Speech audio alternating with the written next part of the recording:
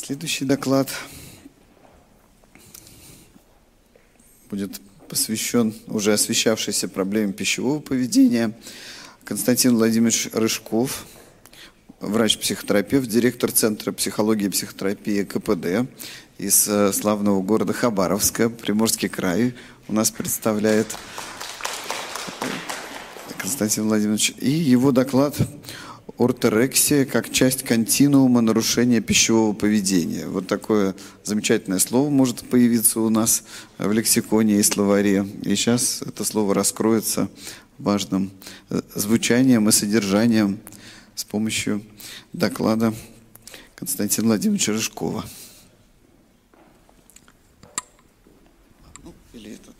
Спасибо большое. Большая честь выступать на таком представительном собрании, как съезд любимой ассоциации. И не буду скрывать, что не легче, потому что был прекрасный доклад Марины Валерьевны по поводу донозологических форм нарушения пищевого поведения. Поэтому какие-то части своего доклада я постараюсь конспективно, быстро пройти. И Начну я с того, что... Так. Что Видимо... Видимо, я тоже использовал. Никак не подружусь. Давайте. Это наши все навыки, да. Значит, мы сейчас смотрим вот, вот так. Отлично, отлично. Спасибо. Предыдущий докладчик говорил об этой модели, я не буду детально ее больше освещать. Биопсихосоциальная модель – это ведущая, то, что мы сейчас используем в классической медицинской парадигме. Но я бы в своем докладе хотел сказать, что иногда она бывает недостаточно обширна, недостаточно раскрывающая. И вот я вам хочу показать слайд, который часто в Академии расстройств пищевого поведения США используется для таких презентации, членом которой я являюсь, этой академии, где более развернуто и подробно освещается цикл нарушений пищевого поведения. Он гораздо ближе к когнитивной парадигме, он показывает, а вот если посмотреть, оп, оп, оп, оп, у меня все слетело. Угу. В правом верхнем углу вы увидите те самые триггеры, внешние ситуации, стрессоры, которые могут запустить то, что мы подробно потом расписываем в виде концептуализации клинического случая, то, что уже считается расстройством пищевого поведения. И дальше можно уже говорить о взаимном влиянии и на биологические факторы всего организма, говорят уже о нарушениях метаболизма, липидного обмена, наращивания массы тела пациентам. Как через это можно повлиять на его собственную родную семью – Дальше влияние может распространяться гораздо шире на социальные и на культуральные какие-то феномены, откуда тоже могут приходить месседжи или каких-то посланий, трендов или субкультурных влияний. И, естественно, все это развивается в предиспозиции индивидуальных характеристик наших пациентов. Почему я вот этот слайд нашей любимой академии хочу вам представить? Чтобы в психологическом сообществе часто сталкиваются с случаем, что недооценка соматического состояния или, как мы говорим, соматических масок некоторых психотерапевтических клиентов, э, часто это встречается. Вот что может быть при расстройствах пищевого поведения, когда люди это вообще даже не осознают, когда нет внутренней картины болезни, и мы видим только набор соматических симптомов. Общие проблемы, просто колебания веса в любую из сторон, которые могут быть в любом возрасте, и у подростков, и у взрослых детей. Просто из общих симптомов. Обычная слабость, синкопы, приливы, желудочно-кишечный тракт сверху вниз, травматизация полости рта, эрозия дентальной, периосмолязисы, кардиореспираторные системы, загрудинные боли, аритмии, нарушение дыхания, эдема. То есть, казалось бы, симптомы мало относящиеся к расстройствам пищевого поведения, но они могут маскировать все эти вещи. у вас в вашем конкретном кабинете пациент может говорить только об этом, но внутри расстройства пищевого поведения. Гастроинституциональные симптомы. Дискомфорт в эпигастральной области, рефлюксы, запоры. Подробно освещать не буду сейчас все. Эндокринные нарушения, аминорея или нарушение цикла, снижение минерализации костей, снижение либидо, большая группа нейропсихиатрических симптомов, которые мы гораздо лучше знаем. Судороги, снижение памяти или просто концентрация внимания, нарушение сна, депрессия, тревога, обсессивные паттерны поведения, самотравматизация и, в конце концов, даже суицидальное поведение. И еще очень большая группа дерматологических кожных проявлений, которые могут касаться как волосяного покрова, так и вообще всей площади кожи клиента. Это все могут быть маски. К вам пришел человек с нарушением пищевого поведения, который не знает об этом и не расскажет вам ничего. Что-то вот из этого всего в том или ином наборе мы можем видеть. И Академия нарушений пищевого поведения предлагает э, для более общего и цельного понимания всего континуума, связанного с пищевым поведением, рассматривать его в виде такой вот оси. В левом углу, вот в левом столбце мы видим то, что называется принятием своего тела, принятием образом своего тела. Здоровый паттерны пищевого поведения и здоровый вес, который соответствует той возрастной группе или тому типу сложения, которое есть у пациента. Все это называется healthy body image. Следующее – это нарушение пищевого поведения, средний столбец, о котором вот будет как раз мой доклад. И в самом конце то, что уже действительно болезнь. То есть сейчас мы будем говорить о предболезни, то, что не входит в международные и российские классификаторы, не включены в МКБ-10 или в ДСМ-5. Но часто это не включение связано только с техническими моментами. Допустим, по орторексии недостаточно, по-моему, там двух или трех метаанализов, и она войдет в классификаторы. Э, эксцессивные и компульсивные тренировки, избыточные тренировки тоже близки к тому, чтобы они в следующей, видимо, ДСМ они уже будут включены. Но сейчас мы их рассматриваем пока как предзаболевание, донозологическая форма, очень широко распространенная в популяции. Итак, что же еще нарушение, но еще не болезнь? Все виды ограничения. Вот э, мы не любим использовать термин «правильно». Вот если есть правильно, то есть неправильно. И тут уже появляются ограничения. И речь тут же может быть идти уже о когнитивных каких-то искажениях. Мы говорим о Э, вот йо-йо дайетин и фастинг. Это просто быстрое, еще не компульсивное, неосознанное поедание пищи. Использование стероидов. Часто у спортсменов это бывает. Уже относится к нарушениям пищевого поведения. Просто компульсивное переедание, разовый феномен, однократно наблюдающийся, уже группа риска – эксцессивные тренировки, избыточные, изнуряющие, чрезмерные тренировки, они тоже являются предиктом, предболезнью к развитию дальнейшему тяжелых расстройств пищевого поведения. И вот крайне правый столбец, не все их описывает, он просто самый явный из них вам демонстрирует. Это булимия, анорексия и бенжитин. Но это не все. Я не стал подробно всю классификацию ДСМовскую или МКБшную приводить. Итак, нервная анорексия.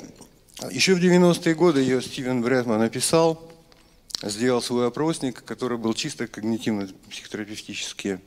Он сам ей страдал, он был частью такого спиритуального движения и увлекся тем, что тогда называлось правильным питанием. После этого он, кстати, при помощи техников mindfulness с этой патологией справился, детально ее описал и как он о ней говорил. Это те расстройства приема пищи, когда у человека есть такое четкое, навязчивое стремление к некоему здоровому и правильному питанию в различных его проявлениях. К чему это приведет? Человек начинает ограничивать себя в выборе продуктов. Здоровое питание для этого человека становится настолько важным, настолько он на нем фиксируется, что эта озабоченность э, приводит к тому, что его увлечение, круг знакомых, время провождения существенно изменяются. Если мы будем анализировать его поведение, тут мы видим уже действительно деформацию в сторону дисфункциональных паттернов пищевого поведения. Сам пищевой рацион определяется исключительностью только по критерию вот этому черно-белому. Полезно, не полезно, рационально, нерационально. Уже не важны вкусовые предпочтения для этого индивида. Каждое нарушение им диеты, срыв или прием запрещенного какого-то продукта вызывает у него действительно сильную тревожность, а последующем и чувство вины. Есть несколько современных теорий орторексии – есть э, точка зрения некоторых авторов, что это абсолютно самостоятельное заболевание. Есть другой подход, где считают, что это возможно либо вариант, либо этап развития другого, уже существующего расстройства пищевого, не существующего, разви, разви, расстройства пищевого поведения, которое будет развито. Либо есть такой подход, как орторексия, это просто часть из проявления расстройств личности либо просто проявление синдрома. Симптомы. Я уже говорил, только правильная пища. И что эти люди исключают? Искусственные красители, вкусовые вещества и консерванты, пестициды, геномодифицированные продукты, нездоровые жиры, высокие дозы сахара и соли. Казалось бы, правильные вещи. Но начинают усложняться ритуалы. Человек многократно, тщательно моет продукты, покупает определенные бренды в определенных местах, тратит на это все больше и больше времени. До трех часов в день эти ритуалы могут такого человека занимать. Он общается только с таким сообществом людей. И постепенно он становится замкнутым и, возможно, даже антисоциальным. Фанатизм то самое дихотомическое деление всех продуктов по двум принципам. Либо они полезные, либо вредные. Страх, тревога, отступление от правильной еды и постоянное беспокойство.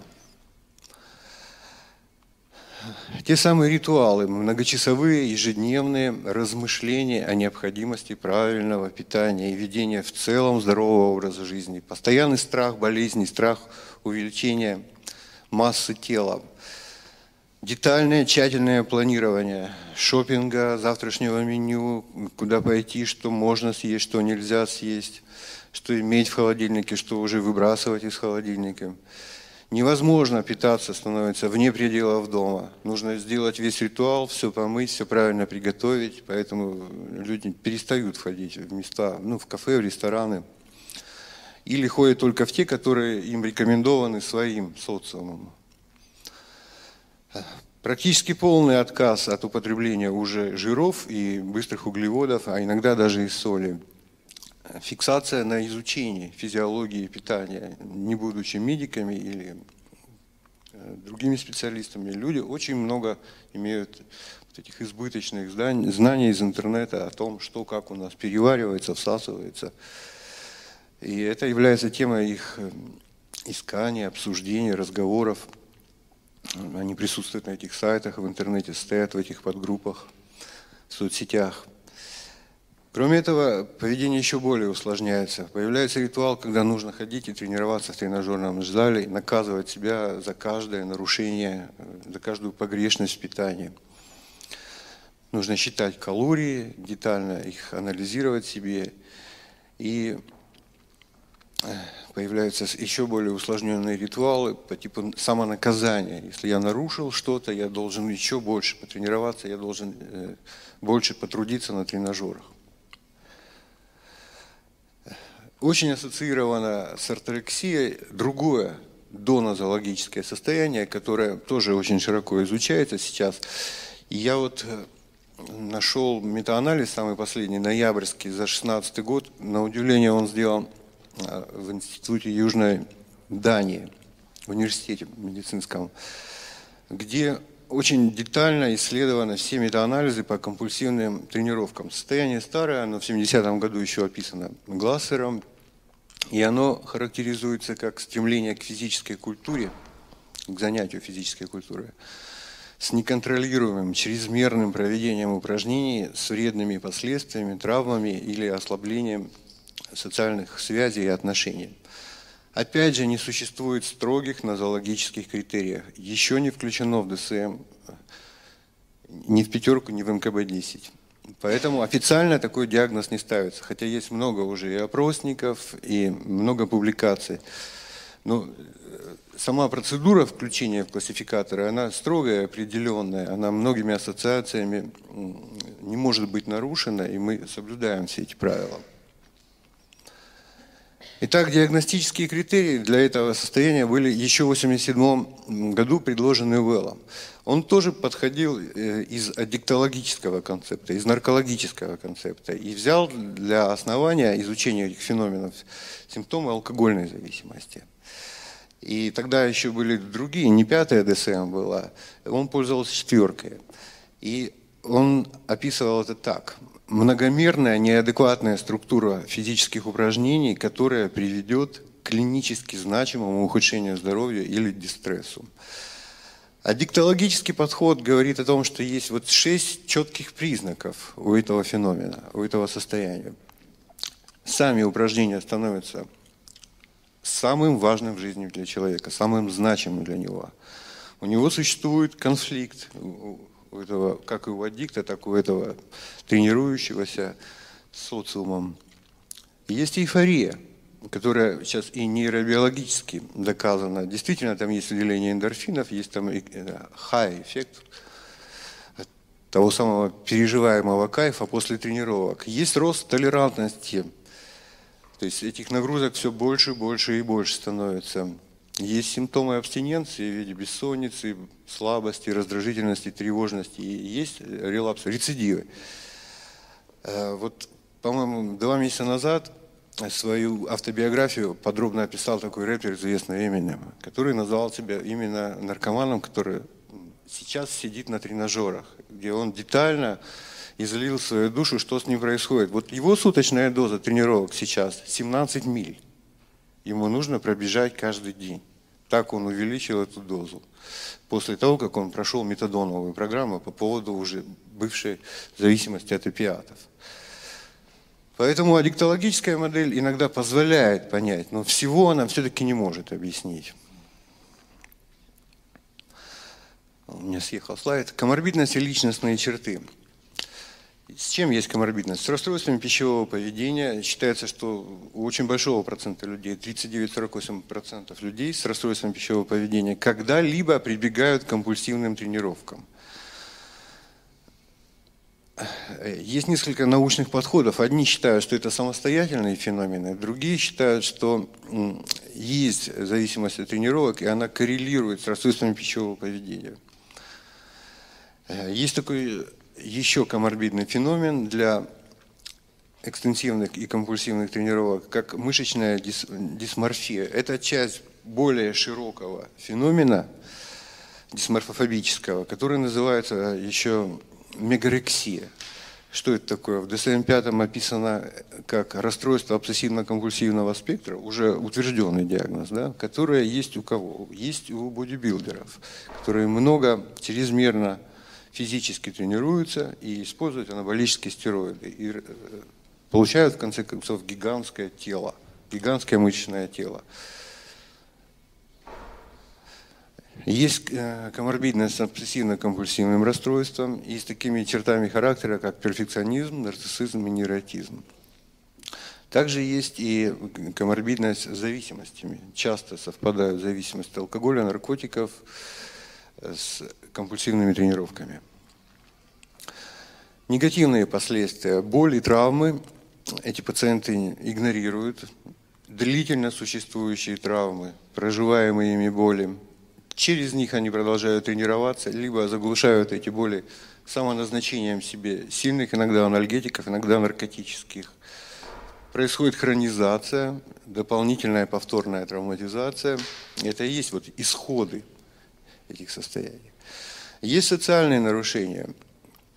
Мы отмечаем, что в этих субкультурах есть некоторая маргинализация и изоляция от общества. Они противоставляют себя либо своим сверстникам, либо всему обществу. э, вне своей субкультуры. И если говорить ну, на нашем съезде о терапии выбора, то по литературным источникам самыми доказанными методами, подробно описанными, является когнитивно-поведенческая терапия, особенно DBT много этим занимается, и мотивационное интервью. Две метаанализами доказанные эффективные практики терапевтические. Поэтому я еще раз хочу обратить ваше внимание, что на подходе большое количество донозоологических состояний, которые нам, как психотерапевтам, уже очевидны и понятны, если выстроить их концептуализацию, что являются. Мы можем психотерапевтический диагноз поставить.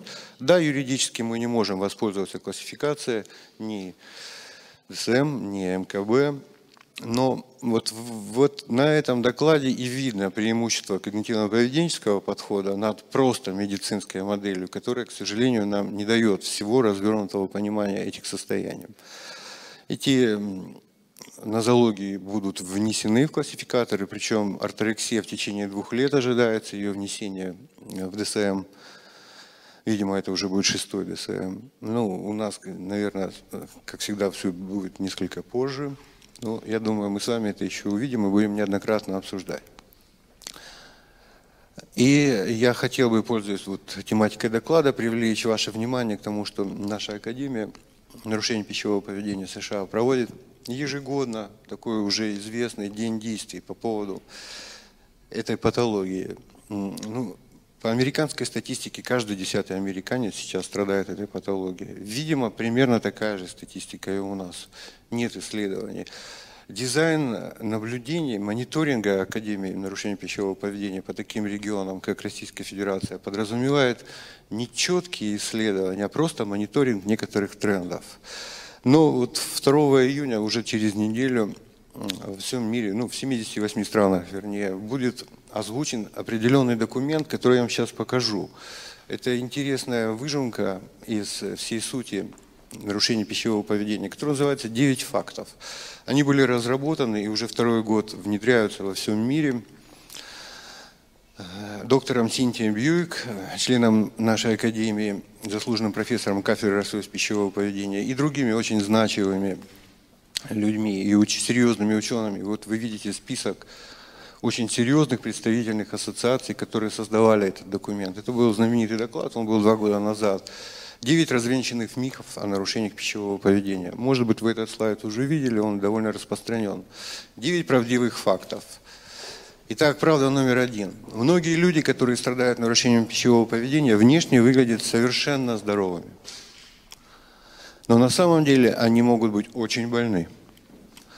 Семья не ответственна за болезнь. Родственники могут стать как лучшими союзниками пациентов, так и могут и мешать терапии. Диагноз расстройства пищевого поведения – это серьезная проблема, нарушающая личное семейное функционирование человека. Расстройство пищевого поведения – это не личный выбор человека, а серьезное биологически обусловленное заболевание – Этим расстройством подвержены люди любого пола, возраста, расы, национальности, размера и веса, сексуальной ориентации и социально-экономического положения. Кстати, вот месяц назад Джессика Альба написала очень трогательную историю о своей дочери, которая страдает орторексией. И сейчас как раз в Сиэтле проходит у дебетишников терапию по поводу орторексии. И гены, и окружающая среда играют важную роль в развитии расстройств пищевого поведения. Сами по себе гены не предопределяют заболеваемость. Полное выздоровление при этих расстройствах возможно. Но очень важна ранняя диагностика вмешательство для полного успешного выздоровления. А та самая ранняя диагностика как раз и хорошо бы, если бы проводилась нами, психологами, психотерапевтами, на донозологическом этапе, когда мы имеем еще нарушение, а не расстройство. На средней части континуума лучше было бы встречать нам этих пациентов в своих кабинетах. Вот э, этот слайд, слева логотипы тех серьезных медицинских учреждений, которые поставили свои логотипы в поддержании вот этого слайда. Большое спасибо за ваше внимание. Если есть вопросы, я вам с удовольствием вам отвечу на них. Уважаемые коллеги, есть ли вопросы?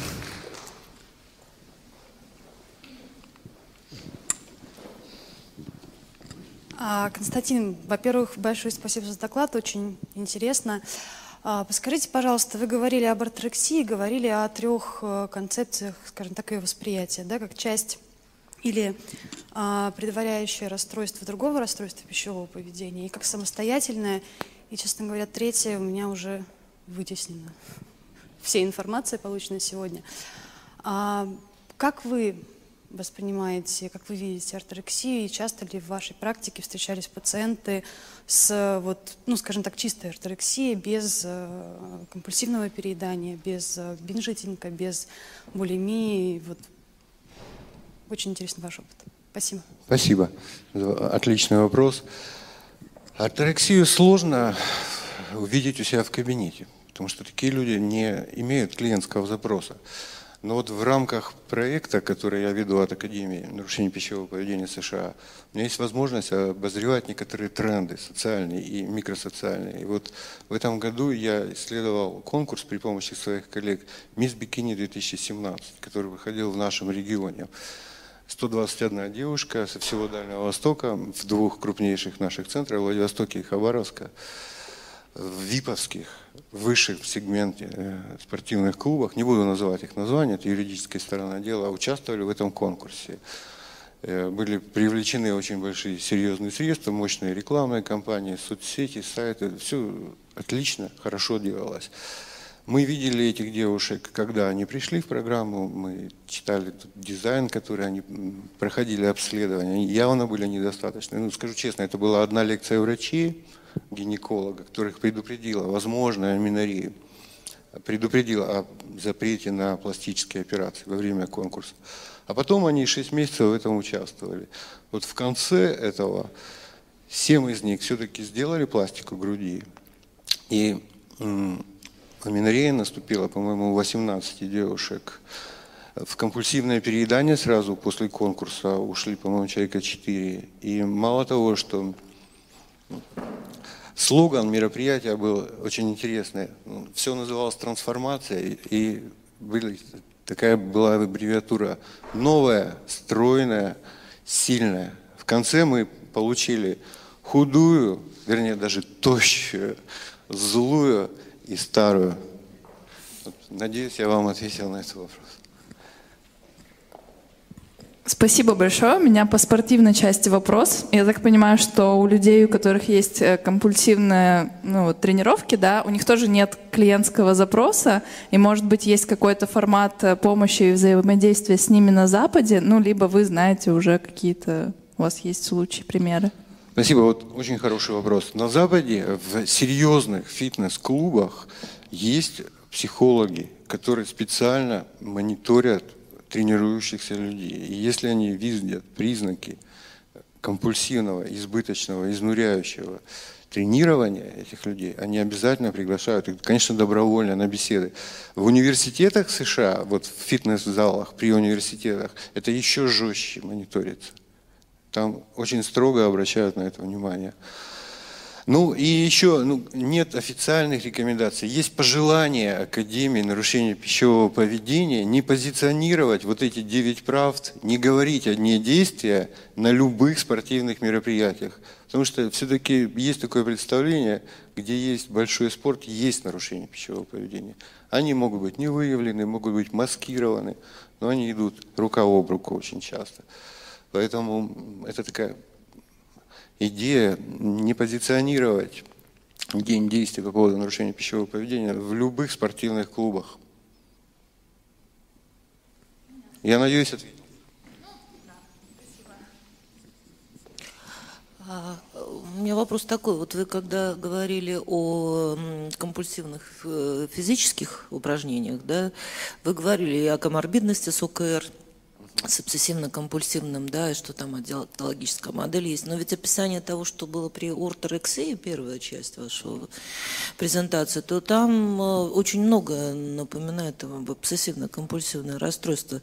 И э, э, более того, я могу сейчас вспомнить сразу с налета двух своих пациенток, которые при обсессивно-компульсивном расстройстве в дальнейшем уходили именно в орторексическое поведение. Ну, правда, может быть, с усиленным еще проверкой там дат выпуска и мытья бесконечного продуктов, но тем не менее всего этого. А такая модель вообще где-то описана, потому что уж очень много сходства. Да, таких публикаций вот, о связи ОКР и орторексии много. Спасибо за вопрос, Марина Юрьевна.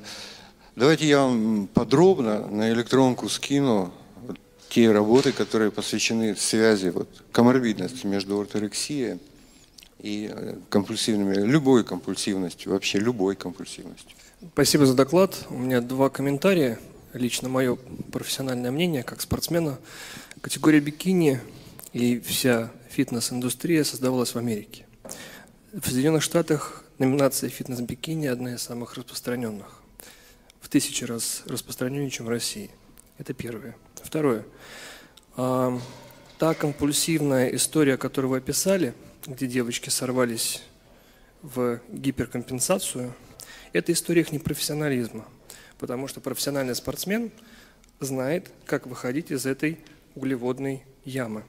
То есть просто этим девочкам не объяснили, как правильно выстраивать диету, чтобы не было такого компульсивного построения питания. Потому что есть э, в этой категории спортсменов, конечно, патология, которая может уйти уже за грань, но если подходить грамотно, если подходить с медициной, с поддержкой, и консультациями, то это можно минимизировать. Хотя аминорея – это естественный процесс, к сожалению, как, как только девочка теряет какой-то процент компонента жира, это физиологический факт, они сами на это идут. Если тут патология психического или психологического уровня, не знаю, ну, наверное, 50 на 50. Спасибо. А в чем вопрос? Это просто дополнение. А. Это мое мнение. Спасибо. Хорошо, я прокомментирую несколько слов. Вот я много слышал от фитнес-инструкторов и консультантов по поводу того, что девочек предупредят, что им расскажут. На руки выдают листик, где расписана диета на 1500 килокалорий. Что нужно кушать, что три столбика. Это рекомендация. Кроме того, никто не говорит, что за две недели перед самим шоу будут две недели сушки. И не будет мониторинга мочи, какие препараты используются для сушки. Мы это тоже знаем, как они себя сушат. Что там идет и эфедрин, и сауны, и многие другие препараты. Э, кроме того, с потерей, ну, вы сказали об аминорее как о некоторой такой мелочи. Я вот как клиницист с вами не соглашусь. Я все-таки считаю, что это серьезное расстройство аминорея. И да, вы, ну, вы ее связали с потерей жировой массы у девушек. Да, мы, э, когда, если вы внимательно на сайте Мисс Бикини прочитаете требования ассоциации бодибилдинга к этим девушкам, первая ваша ассоциация будет, что это конкурс экстерьера для собак. Все. Там речь не идет о здоровье, там речь идет о внешности.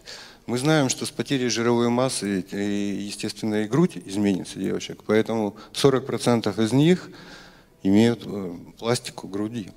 Они к этому приходят, если остаются в этих конкурсах. Это не является правилом для исключения их из этих.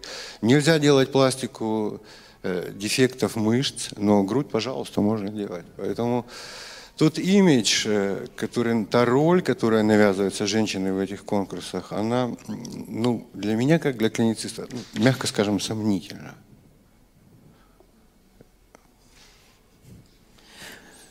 Спасибо еще раз э, за отличный доклад. А можно чуть подробнее прокомментировать четвертый Пожалуйста. пункт слайда 9 правдивых фактов. Я не настолько силен в бодибилдинге. Я занимаюсь тревожно-фобическими расстройствами и нарушения пищевого поведения там а, нередкие. Вот этот номер 4 а, для того, чтобы как-то более осознанно ссылаться на этот пункт, э, есть ли какие-то данные о том, что все-таки это не личный выбор, а именно серьезное биологическое заболевание? Вы-то более глубоко в теме. Спасибо, очень хороший вопрос. Вот буквально три недели назад в Израиле был выделен геном, уже прям геном выделен, который четко, доказанно отвечает за один из видов расстройств пищевого поведения. То есть мы Да, есть статьи серьезные. Если вам интересно, я вам скину эти ссылки. То есть э, генетические вещи уже доказаны. Действительно научно доказаны.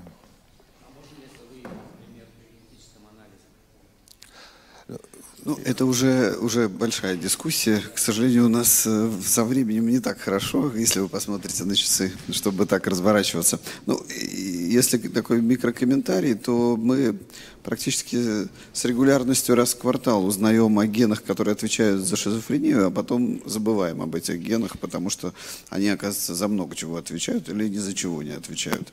Поэтому это такое очень большое разнообразие в слове генетика мы можем наблюдать.